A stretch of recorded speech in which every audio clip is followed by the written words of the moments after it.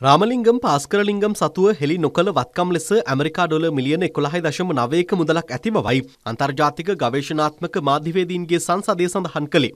ඔහු British virgin දූපත්හි නිර්මාණය කළ සමාගමක මෙම මුදල් තැන්පත් කර තිබෙනවා.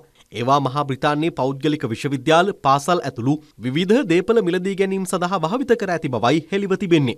රාමලිංගම් පාස්කරලිංගම් එක්දහස් නවසය අසූ නවය වසරේ සිට හිටපු ජනාධිපති රණසිංහ ප්‍රේමදාස මහතාගේ පාලන සමයේදී මුදල් අමාත්‍යංශයේ ලේකම්වරයෙකු ලෙසද කටයුතු කර තිබෙනවා. ඉන් පසු ඩීබී විජේතුංග හිටපු ජනාධිපතිවරයාගේ සමයේද මෙම පුද්ගලයා තනතුරු දරා ඇති බවයි වාර්තා වන්නේ. ඔහු එක්දහස් නවසය අනු හතර වසරේදී මහා බ්‍රිතාන්‍යයට සංක්‍රමණය වී ඇති බවයි විදෙස් මාධ්‍ය වාර්තා සඳහන් කරන්නේ. කරන්නේ. නැවතත් දෙදහස් දෙකේ සිට දෙදහස් හතර වසර දක්වා සහ දෙදහස් පහළ වසරේ සිට දෙදහස් දා අට දක්වා හිටපු අග්‍රාමාත්‍ය රනිල් වික්‍රමසිංහ මහතාගේ ආර්ථික උපදේශකවරයෙකු ලෙසද මොහු කටයුතු කර තිබෙනවා. ඔහුගේ බැංකු ගිනුම්වල රැකියා ලෙස දක්වා ඇත්තේ විශ්‍රාමික අයෙකු බවයි. ඔහු සහ ඔහුගේ පවුලේ සාමාජිකින් ප්‍රතිලාබීන් ලෙසද ඒවායි දක්වා තිබෙනවා. ජාත්‍යන්තර මාධ්‍ය රාමලිංගම් පාස්කරලිංගම් සම්බන්ධ කර ගැනීමට උත්සාහ දරා තිබුණද ඔහු ප්‍රතිචාර දක්වා තිබුණේ නැහැ.